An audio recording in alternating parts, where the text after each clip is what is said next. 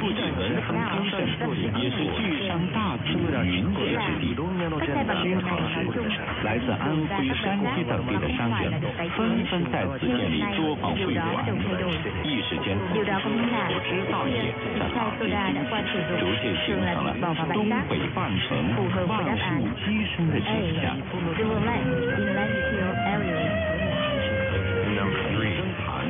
潘永立在富州与潘元纯在台北，但潘家的生意做得很大。一次潘元淳和好友汪毅在西藏经商时遭遇土匪，土匪让两个人留 r 另一个回去南昌。在 s 南，n g 已 a 知道 a 个产品是经过精制的，然后 a 苏打和盐来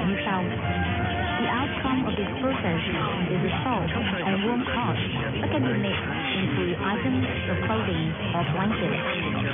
Nghĩa là sản phẩm của quá trình này là vải tốt, nhẹ và ấm áp, có thể may quần áo hoặc khăn.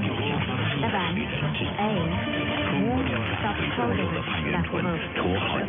Number four. recommend. A. Buying plastic bottles.